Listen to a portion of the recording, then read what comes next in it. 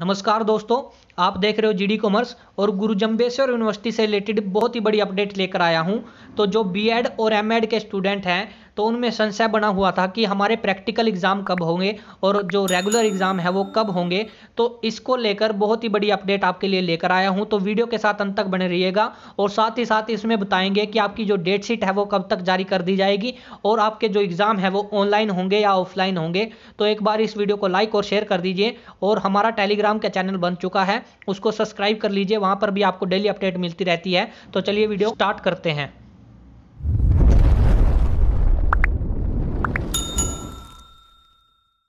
दोस्तों, गुरु जम्बेश्वर यूनिवर्सिटी के जितने भी स्टूडेंट हैं, उनके लिए बहुत ही बड़ी अपडेट जो बीएड और एमएड के जो स्टूडेंट हैं, उनमें संशय बना हुआ था कि जो हमारे एग्ज़ाम है, वो कब होंगे। तो इससे रिलेटेड बहुत ही बड़ी अपडेट लेकर आया हूँ। जो बीएड के यहाँ पे लिखा है, देखिए। बीएड कॉलेजों में एक अक्टूबर से होगा प्रैक्टिकल और अठारह अक्टूबर से होंगी आपकी जो परीक्षाएँ हैं।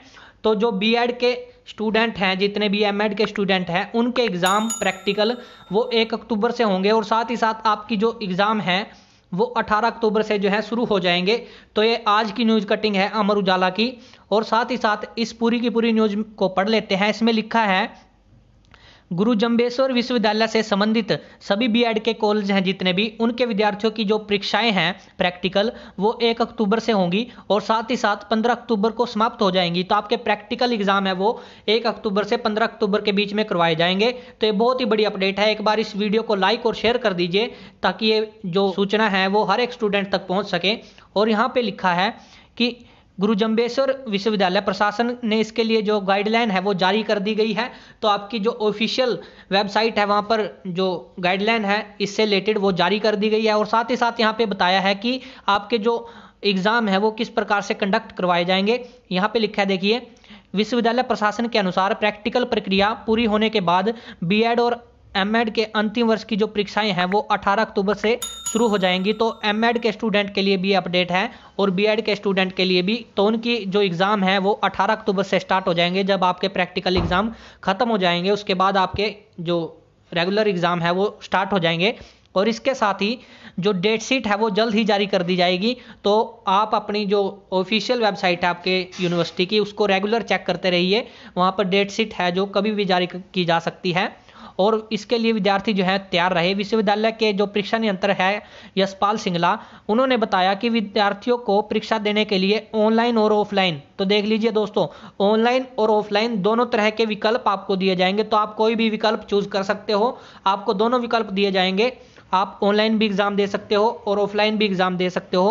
और इस वीडियो को ज़्यादा से ज़्यादा शेयर करिए और वीडियो को लाइक करना ना भूलिएगा।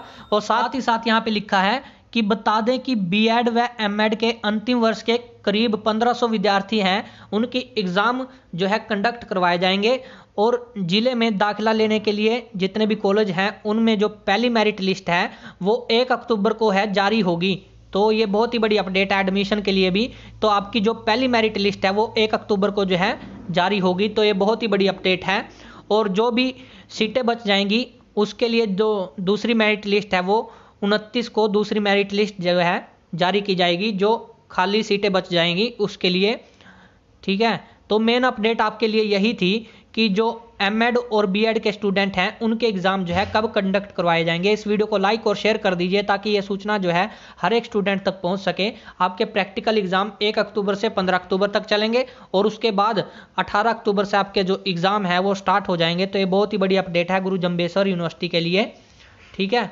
इस वीडियो को ज़्यादा से ज़्यादा शेयर करिए हर एक स्टूडेंट तक। और साथ ही साथ अपने जो यूनिवर्सिटी की ऑफिशियल वेबसाइट है, उसको रेगुलर चेक करते रहिएगा। वहाँ पर अपडेट मिलती रहेगी आपको। और हमारे चैनल को सब्सक्राइब कर लीजिए बेल आइकन को भी दबा लीजिए, ताकि मैं कोई भी वीडियो डालूँ, उसका नोटिफिकेशन आपको मिलता रहे। धन्यवाद, जय हिंद।